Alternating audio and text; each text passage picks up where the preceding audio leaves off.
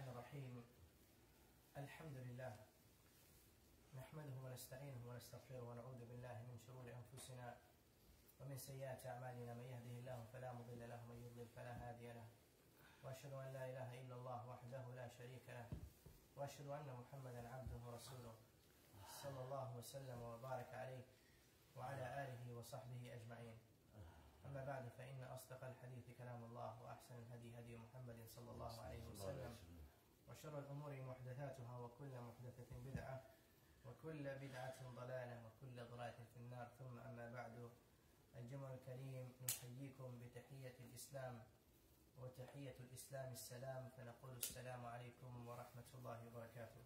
وعليكم السلام ورحمة الله تعالى وبركاته. أما بعد فمواصلة في كتاب أصول السنة لإمام أهل السنة والجماعة أبو عبد الله أحمد بن حنبل رحمه الله. وقفنا في الدرس الماضي عند قول المصنف الإمام أحمد بن حنبل قال والسنة لا ولا تدرك والسنة لا لا تدرك بالعقول ولا الأهواء إنما هو الاتباع وترك الهوى. وقد تكلمنا أن السنة قد يأتي في السنة ما لا يبلغ عقول الإنسان أو عقل الإنسان. the Sunnah sometimes there are things even in the Quran that may not make sense to you. الواجب على المسلم كما قال ابن حنبل قال إنما هو الاتباع وترك الهوى. تتبع السنة والقرآن من غير اعتراض ومن غير سؤال ومن غير آه، تحريف ولا تكييف ولا تمثيل ولا تشبيه ولا تحريف. أما الأصل العاشر نحن الآن في الأصل العاشر we are on the 10th fundamental and the whole book has 50 fundamentals 50 أصل. الأصل العاشر قال رحمه الله ومن السنة اللازمة التي من ترك منها خصلة ولم يقبلها ويؤمن بها لم يكن من أهلها. ثم ذكر رحمه الله الإيمان بالقضاء والقدر خيره وشره. والتصديق بالأحاديث فيه والإيمان بها ولا يقال لما ولا كيف إنما هو التصديق والإيمان بها. ومن لم والأصل الحادي عشر قال ومن لم يعرف تفسير الحديث ويبلغه عقله فقد كفي ذلك وأحكم له فعليه الإيمان به والتسليم له. طيب in the 11th fundamental and the 10th fundamental قالوا من السنة اللازمة التي من ترك منها خصلة ولم يقبلها ويؤمن بها لم يكن من أهلها. And in the sunnah you have to accept every part of the sunnah. يجب عليك أن تقبل السنة بأكملها. طبعا هذا ما كان صحيح السنة. لأن في السنة ما هو الصحيح وما فيها الحسن والضعيف والموضوع إلى آخره. أما ما كان صحيحا فيها أو منها يجب الإيمان بها كاملة من غير أن تقبل ما تشاء وترد ما تشاء قال الله سبحانه وتعالى أفتؤمنون ببعض الكتاب وتكفرون ببعض فما جزاء من يفعل ذلك منكم إلا خزي في الحياة الدنيا Allah says do you choose from the sunnah what you want and leave, or in the Quran what you want and leave what you want no you cannot Islam comes as a full package all of it together ثم تكلم منها قال الإيمان بالقضاء والقدر. خيره وشره. Believing in القضاء والقدر. The good and the bad. وأكثر ما يضلل الإنسان في أمور الاعتقاد بل يعني أصعب الأمور في العقيدة هي أمور القضاء والقدر. التي قد ضلت منها أو فيها فرقتان عظيمتان في الإسلام أو فرقتين عظيمتين بالأصح two greatest um, of, two of the greatest groups of Ahlul Bidah in Islam have been misguided because of the topic of al-qada wal-qadar and it is the most complex the most complex and complicated topic في أمور الاعتقاد لهذا قال ابن عمر رحمه رضي الله تعالى عنه وارضاه الصحابي الجليل قال كنا في عهد رسول الله صلى الله عليه وسلم نكره الكلام في القدر. We used to hate talking about قدر. They don't talk about it because of any misconception أي مفهوم خاطئ قد يضلل الإنسان هذين الفرقتين الذين ضلوا في مسألة القدر هما القدرية والجبرية. Two great groups in Islam are both on two different extremes. One extreme is called القدرية and the other is الجبرية. أما الجبرية فقالوا كلنا مسيرون ولسنا مخيرون. They said everything that we do, we are controlled. We have no control of any of our actions. Where did they bring this from? طبعا أهل البدع كما ذكرنا كثيرا قلنا أن أهل البدع لما يأتوا ببدعة دائما يكون لهم دليل. دليل من القرآن ومن السنة. لا يأتون ببدع من رأسهم they always have evidence. وأما الجبرية فقالوا ذكروا حديث النبي صلى الله عليه وسلم أن الله سبحانه وتعالى كتب ما كان وما يكون إلى أن تقوم الساعة قبل خمسين ألف سنة بخلق الإنسان. subhanahu wa ta'ala has written down everything that has happened and will happen until Qiyam al-Sa'ah 50,000 years before Allah created the humanity and the universe. It's an authentic hadith.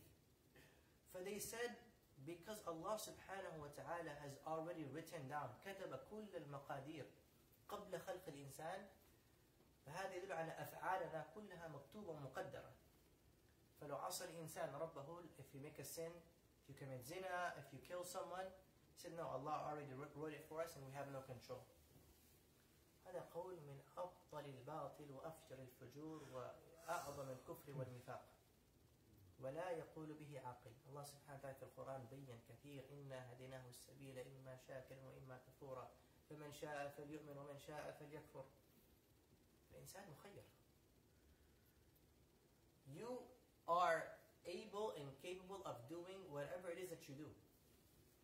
Now here's the, the part that people do not understand. أما القدرية, we'll get back to this in a second. القدرية are the opposite. القدرية say that Allah subhanahu there is no qadr.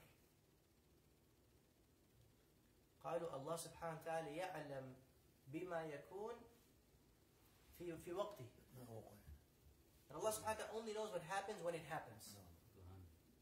He doesn't know what's going to happen. There's no such thing called qadr, is what they said. فهؤلاء كفروا بالله سبحانه وتعالى ولا كفروا كلاهما كافرين.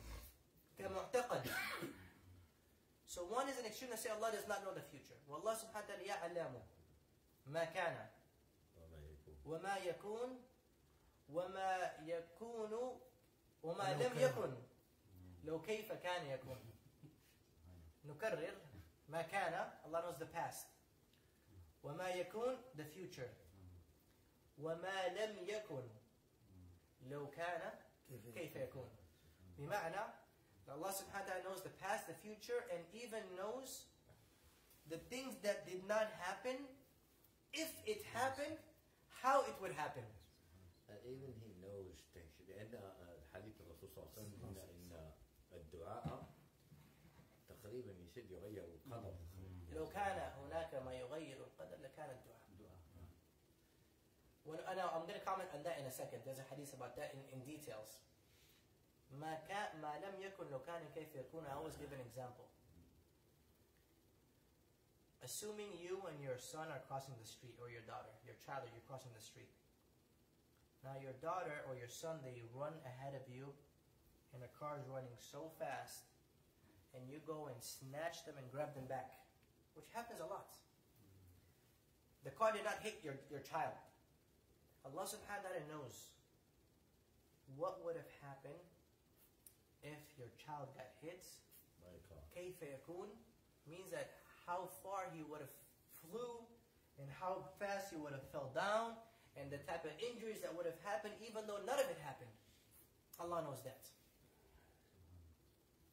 فكونك تقول ان الله سبحانه وتعالى لا لا يعلم ما في الغيب حتى يحدث الله سبحانه وتعالى يقول في سورة النمل. قل لا يعلم من في السماوات والأرض الغيب إلا الله.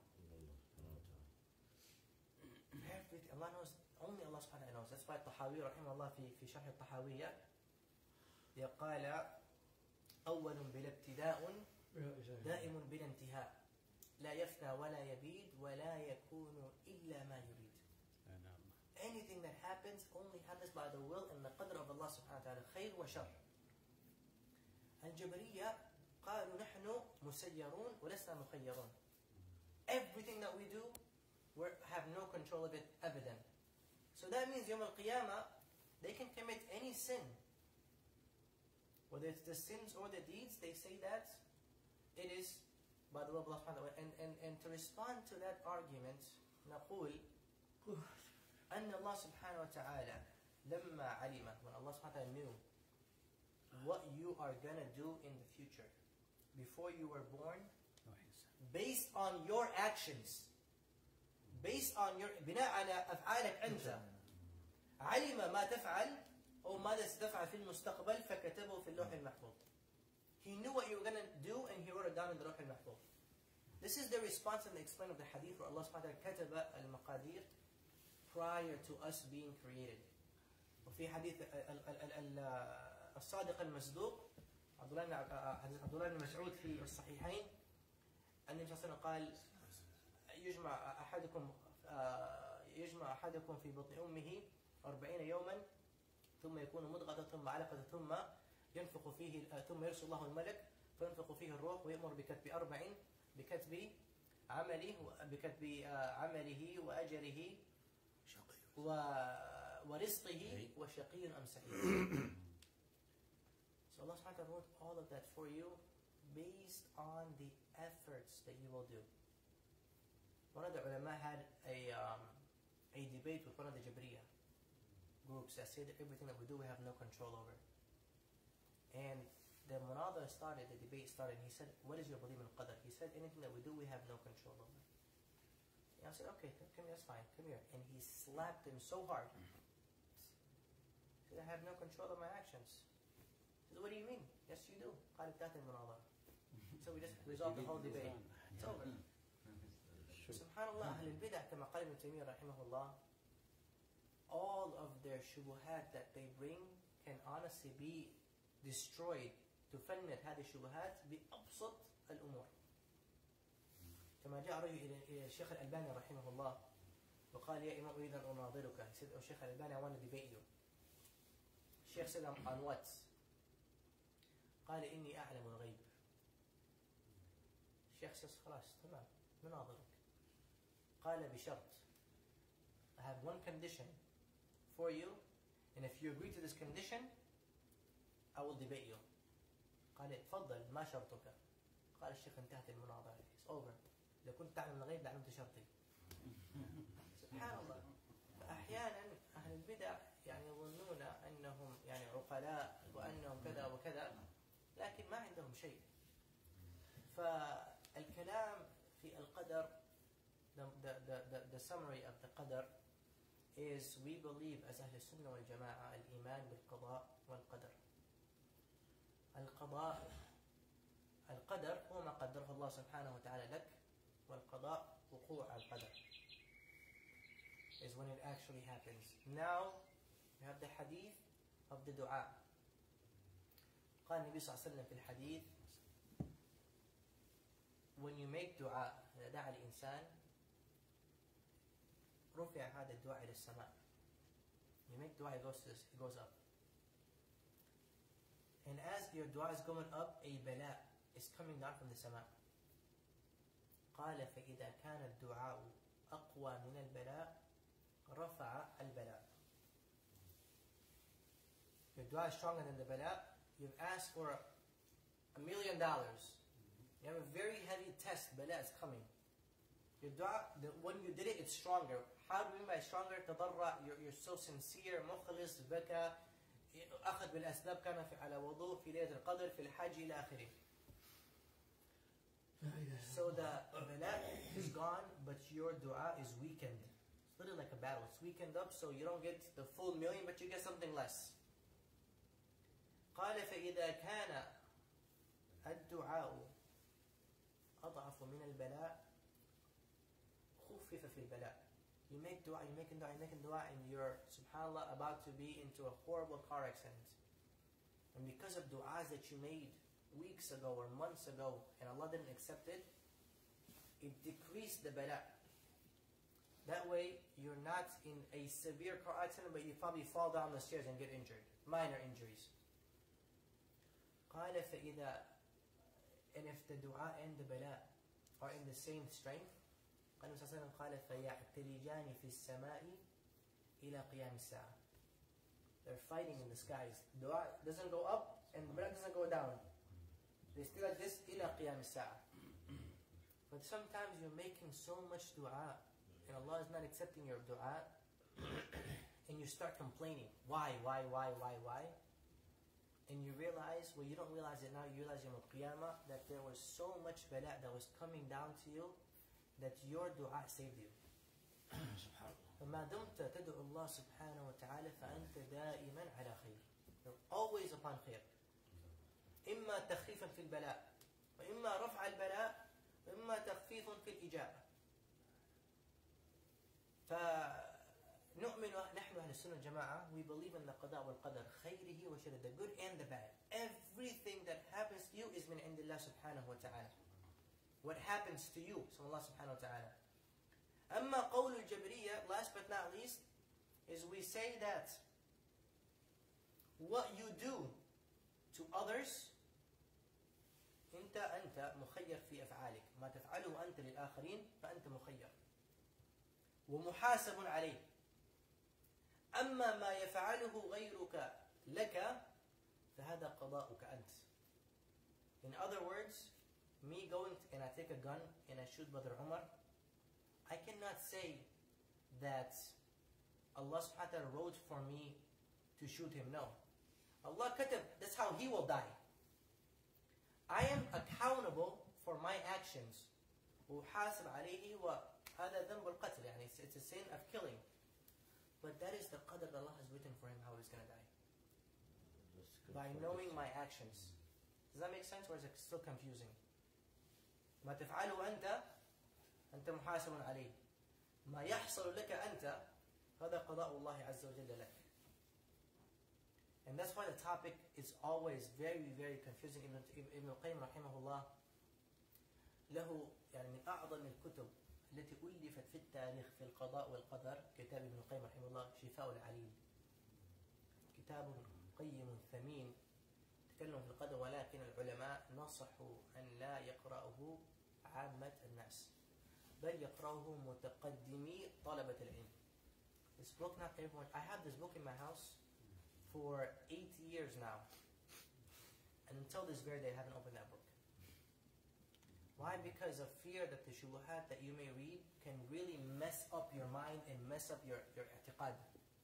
As long as you are on the basic level of Imam al-Qada wal-Qadr that what's good is from Allah subhanahu wa ta'ala, what's bad is also from Allah subhanahu wa ta'ala, and everything that happens is from Allah azza wa jal, this is the, the i'tiqad of Ahlul Iman. I ask Allah subhanahu wa ta'ala أن يجعلنا وإياكم من المؤمنين بالقضاء والقدر إنه تعالى ولي ذلك والقادر عليه وصلى الله وسلم وبارك على نبينا محمد وعلى آله وصحبه أجمعين وآخر دعوانا أن الحمد لله رب العالمين. هل هناك من سؤال؟ If there's any question regarding this topic? Please ask. قد مثلا بعض الناس يسأل مثلا يدخل معك في جدار ويقول لك مثلا اتكلم الفصحى لا أفهم المغربية. ورا هذه الفصحى دي. طيب. ما تتكلم أكون هضرت معك هي هي ماشي فصحى. طيب. هناك بعض الناس مثلا يزني. مثلا تسأله مثلا لماذا زنيت؟ يقول لك قدره الله عليه. ما جاوبهم عن هؤلاء لا الله سبحانه وتعالى خيرك في أفعالك. قلنا all the actions that you do we have free will. we believe in Islam تكلم بالعربي يا أخي. ما لأنه ال- الإخوة في في؟ الكاميرا في في في ال- في الكاميرا. آه. نحن مخيرون. في حياتنا. كل إنسان له ما يسمى بالتخيير. الله سبحانه وتعالى خيرنا في القرآن. وكل أفعالنا التي نفعلها نحن مخيرين فيها. المعاصي والطاعات. المعاصي والطاعات فكل ما تفعله من طاعة أو من معصية فأنت إما مأجور عليه أو محاسب عليه. لكن هذا ليس بالصحيح لكن في علم الله أنك أنت س- ولكن سورة ستفعل هذه الفاحشة. في علم الله أنك نعم. ستفعل الفاحشة بإرادتك أنت. نعم. نعم. فكتبها الله سبحانه نعم، وتعالى في اللوح المحفوظ. نعم. سورة الملك ماذا قال؟ تبارك الذي بالملك وله شيء قدير الذي خلق الموت والحياة ليبلوكم عملا يبلوكم أيكم أحسن عملا. يعني ليمتحنكم أيكم أحسن عملا بإرادته ونبلوكم بالشر والخير فتنة نعم وإلينا ثم إلينا ترجعون. فكل الأفعال التي يفعلها الإنسان everything that you do you have full control over it. لماذا لما يعصي الإنسان ربه نقول لهؤلاء الذين يقولون هذا القول لماذا لما تعصي الله تقول مقدر؟ ولما تفعل الأمور الأخرى أنت مخير فيها ما هي ما هي ليس بهذا. حجتهم واهية. وهؤلاء يجادلون في الله بغير هدى ولا علم ولا كتاب منير. الله سبحانه وتعالى يثبتنا وإياكم على الخير والصلاح إنه تعالى ولذلك والقدر عليه صلى الله وسلم على نبينا محمد وعلى آله وصحبه أجمعين. ونواصل إن شاء الله في الأسبوع القادم في درسنا من أصول السنة. سبحانك اللهم وبحمدك نشهد أن لا إله إلا أنت نستغفرك